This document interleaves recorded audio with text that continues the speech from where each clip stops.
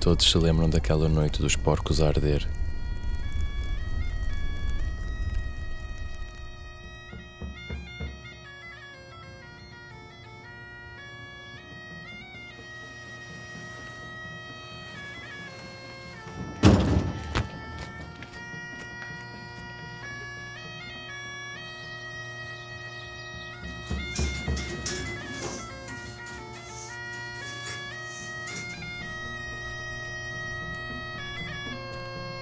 A Espanha. É muito longe.